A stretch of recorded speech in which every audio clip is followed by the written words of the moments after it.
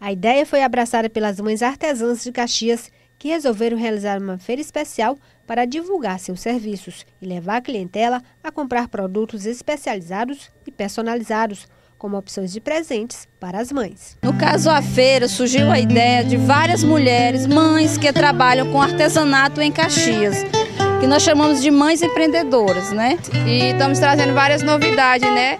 E aí cada um tem um tipo de trabalho e a gente a gente mostra o trabalho e aí vai do cliente, porque às vezes a gente tem um trabalho, o outro já tem outro e aí sucessivamente vai. E nós estamos aqui para dar uma lembrancinha para o Dia das Mães, estamos aqui para os nossos clientes fazer uma compra.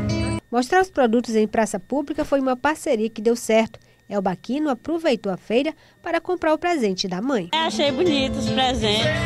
Aí eu comprar um coraçãozinho para minha avó. Aproveitou para presentear a mãezona? É, com certeza.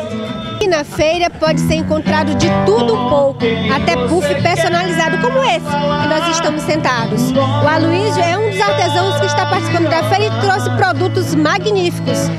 É, Aloysio, como foi que surgiu a ideia para produzir esse puff personalizado? Olha, a ideia surgiu a partir de que eu olhava que tinha muito isopor jogado na natureza, aí eu pensei em, em reutilizá-lo, né?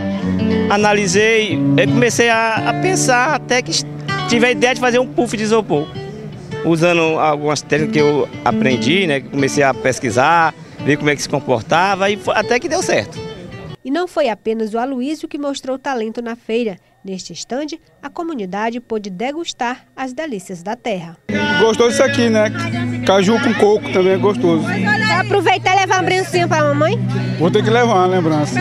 E nós chegamos a trazer né, as nossas novidades para mostrar ao público caxense, as mães caxenses e as pessoas também poder presentear a sua mamãe. A feira teve o apoio da Secretaria da Mulher através da oficina de artesanato da Secretaria de Cultura e SEBRAE. Se o mundo inteiro me pudesse ouvir, tenho muito contar.